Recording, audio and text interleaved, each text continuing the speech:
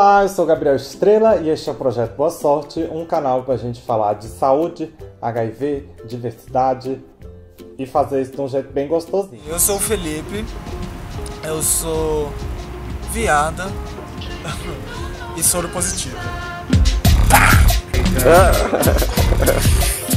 Olá, chá do sim começando, mas hoje eu acho que pode ser chá na roda, Olha. ou põe no chá, ou talvez põe no 5. Oi, tudo bom? Eu sou Daniel Fernandes e está no ar mais um Prosa Positiva.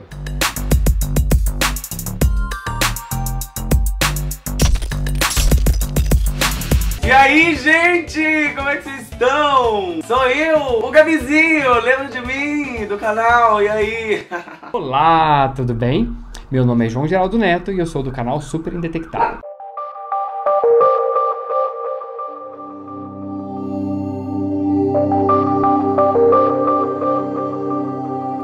Olá, tudo bem? Meu nome é João Geraldo Neto e eu sou do canal Super Indetectável. Na hora que eu peguei o diagnóstico, eu já eu já queria contar para todo mundo, assim, foi uma sensação é, diferente que eu tive, assim, uma relação diferente com a infecção. Eu pensava que aquilo podia ser uma, oportunidade de talvez usar aquela veia ativista que eu tinha desde sempre para tentar mudar a vida de alguém. Eu não sei, é uma coisa meio estranha assim. Aí eu comecei a contar, contei para minha, pra, pro, pro meu marido, pro meu namorado na época, meu, meu companheiro. Aí contei para minha cunhada, que era próximo, só que o meu ex-marido não queria que eu contasse para mais ninguém. Então eu meio que tive que ir negociando com ele à medida que eu fui estudando, eu fui ganhando tempo para estudar e contei para minha mãe seis meses depois. Eu fiz uns exames lá em Petrópolis e eu tô super bem agora, mas assim, eu peguei um diagnóstico meio, meio ruizinho assim. Aí ela falou assim, é câncer? Aí eu falei assim, não. Ela falou, é AIDS? Aí eu falei, então, mamãe, deu positivo para HIV. Aí ela parou assim e falou assim, meu filho, deixa eu te falar uma coisa.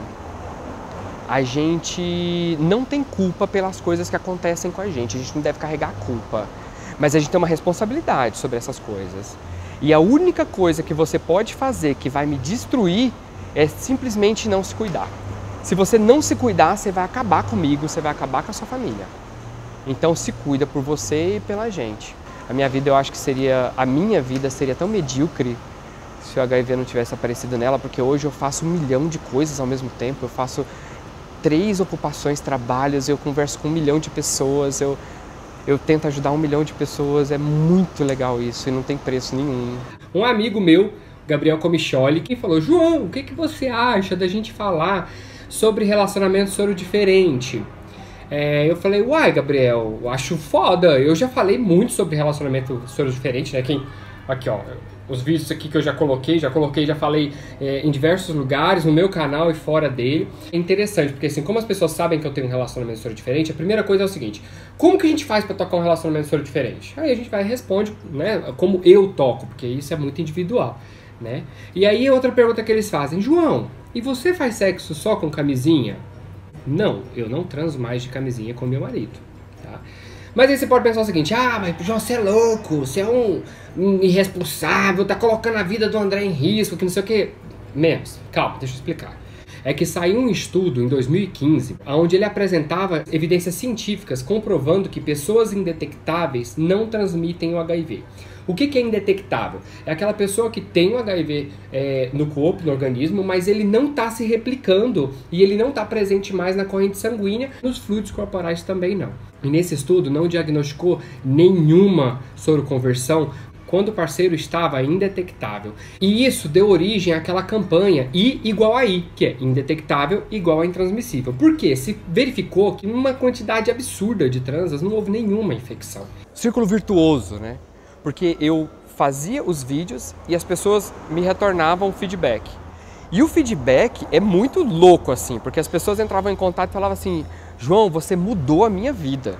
Tipo assim, você me fez ver a vida de uma maneira diferente.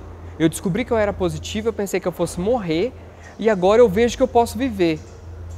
Sinceramente, não existe nada no mundo que pague isso para mim. Nada no mundo. E é uma coisa muito interessante que eu falo e eu reforço para mim o tempo todo, sabe? É muito complicado a gente manter o nosso ego não inflado. É, a gente tem que o tempo todo, porque é tanto elogio que chega pra gente, que se a gente não tomar cuidado, a gente fica maior do que o nosso ego fica maior do que a nossa causa. E eu costumo dizer, que o meu ego nunca, eu nunca vou permitir que o meu ego fique maior do que a minha causa. Eu sou apenas um instrumento, uma pessoa que usa do meu estado de saúde, que foi de alguma maneira cometido por um problema de saúde, para poder levar conhecimento, informação e conforto para as pessoas. Quando eu estou falando que viver com HIV hoje é tranquilo, eu não quero ao mesmo tempo que eles entendam que, tipo, ah, então tudo bem, eu posso pegar HIV. Tem nada a ver, né? Só que eu queria muito que as pessoas entendessem cada vez mais e que essas informações chegassem a mais pessoas e encorajassem mais pessoas a fazer a mesma coisa. A internet veio para democratizar mesmo, né? A gente tem que tomar muito cuidado ao passar esse tipo de informação. É, a gente teve uma fase que era a política do medo mesmo, né? Vamos trabalhar com medo. Se você vai ter HIV, a AIDS vai te pegar. Depois a gente veio para uma coisa de derrubar estigma, de derrubar preconceito. Agora a gente está indo para essa questão mais pessoal mesmo e é uma, uma, uma, mudança até mesmo na maneira como as pessoas se relacionam sexualmente. Eu acho que o que a gente tem que fazer é levar cada vez mais informações sobre as diversas medidas de prevenção.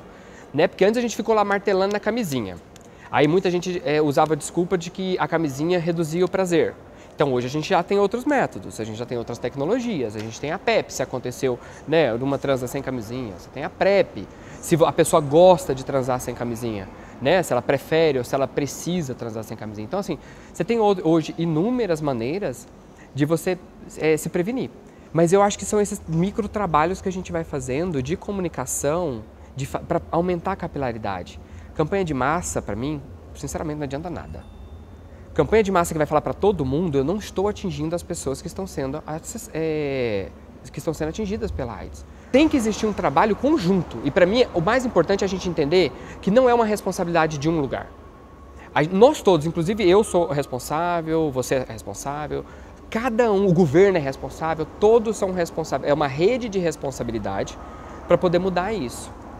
Eu acho muito legal quando eu falo de vida. De tipo assim, ah, é, por exemplo, vamos falar sobre qualidade de vida. E aí fala de coisas triviais, porque a gente às vezes acha que a pessoa com HIV, ela é, eu vou no médico, eu tenho que medir minha carga viral toda vez que eu vou no médico. Tipo, não, eu vou no médico porque eu tenho outras coisas. Eu, eu, a gente pode conversar sobre inúmeras pautas, tem muita coisa para falar. E essas coisinhas triviais mesmo, eu acho as pautas, eu acho as mais legais eu vejo a vida absolutamente positiva. Eu, eu, eu tô vivo. Cara, é impressionante. Eu acordo todo dia e eu falo assim, cara, eu tô vivo, que privilégio. É muito privilégio. Tanta gente morreu, tanta gente morre até hoje, sabe?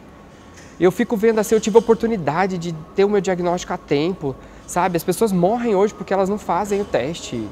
As pessoas morrem hoje porque elas não acessam os medicamentos, é porque elas não acessam o, o, serviço de saúde. Então ainda tem gente que morre. Como é que eu posso não entender e, e, aceitar o privilégio que eu tenho de ter tido a oportunidade de viver hoje, de ter o meu relacionamento, de ter o meu trabalho, de poder viajar, de poder sair para festa? Eu sou um privilegiado por estar vivo.